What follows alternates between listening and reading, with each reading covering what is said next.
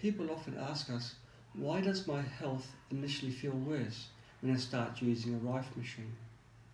When Rife machines kill germs, the cells often burst open. This is a good thing because the germs can no longer multiply.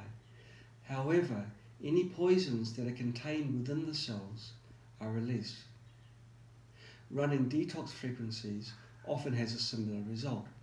All of us have built-in toxicity in our bodies, acquired over many years of neglect.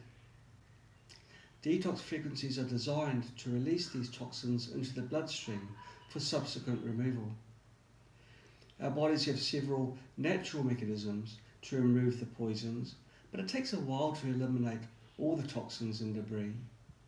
During this time, we often have symptoms that include a flu-like condition, heavy perspiration and night sweats, fever with or without chills, headaches, diarrhea, nausea and vomiting, pain in joints and bones, and itching, flushing and reddening of skin.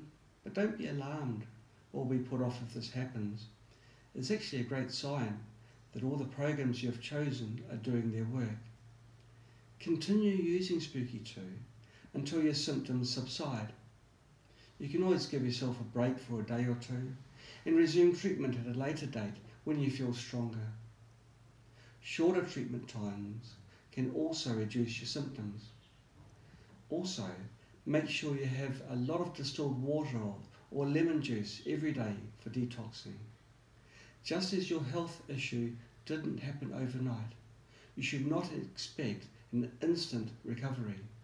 It takes time to gradually kill off undesirable microorganisms and remove all the undesirables from your body.